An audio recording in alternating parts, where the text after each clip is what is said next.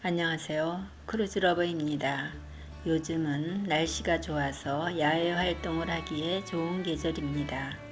뉴욕시티에 사는 분들은 야외로 나가 바베큐를 하기가 쉽지 않지요. 오늘은 시원한 강바람을 쏘이며 가족이나 친지들과 함께 즐길 수 있는 야외 바베큐 장소를 소개합니다.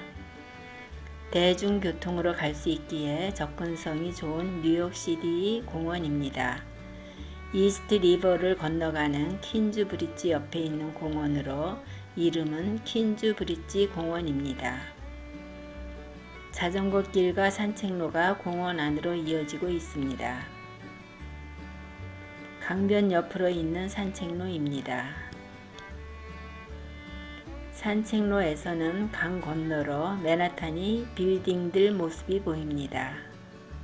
크라이슬러 빌딩, 엠파이어 스테이트 빌딩, 프리덤 타워 등이 보이네요. 언덕 위와 아래에 벤치들이 놓여 있습니다.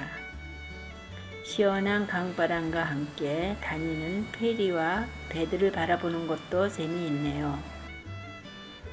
피크닉 장소에는 바베큐 그릴과 테이블이 준비되어 있습니다. 여러 개의 작은 그릴과 큰 그릴들이 있으니 좋은 것을 선택하세요. 테이블을 사용해도 되지만 넓은 잔디에 자리 깔고 앉아도 좋습니다. 공원에는 여러 개의 야구장과 배구 코트, 또 넓은 잔디밭이 있습니다. 어린이 놀이터도 있네요.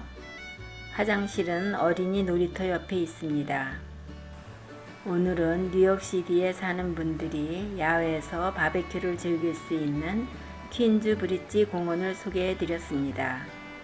알려드리는 정보가 도움이 되신다면 구독과 좋아요, 알림 설정을 부탁드립니다. 늘 건강하고 행복한 시간들이 되시기 바랍니다. 감사합니다.